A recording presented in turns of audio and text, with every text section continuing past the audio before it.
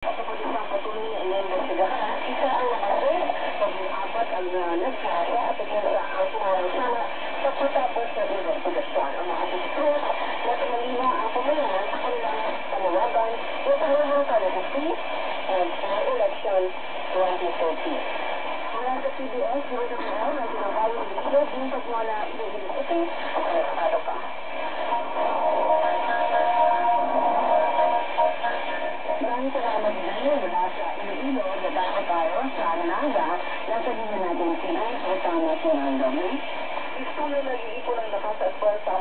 kandidato ngayon habang nag-observa ng Siwala Santa.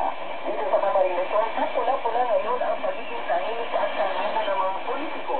Itin muna ang mga pagkakastorbo sa mga komentaryo at ang pagkakanalan at ang natungan ng mga isyo sa magkakanilang kampo. Mismo ang Commission of Election sa mga pahayag ni Atty. Marco Julia ang nagsabi, mabuti naman ang ikinagala ng mga kandidato ang kapalaran ng Siwala Santa. Samantala, sarado ang taglapan ng Commission of Election sa dito sa Naman City. Ito ay dahil nakatado at apala ang mga taga-sumalit sa ongoing na training sa lahat ng mga Board of Election Inspectors at Secret Technicians.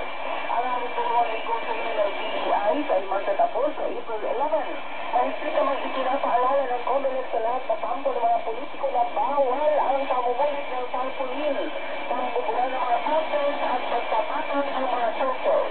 Panawagan ng COMELEC sa mga kampo ng kandidato na igano naman at respeto ang karapatan ng bawat isa dahil sa magkakalaban sa halalan. Radyo ng Bayan Naga, din si Pharmacy Maso, konektado ka.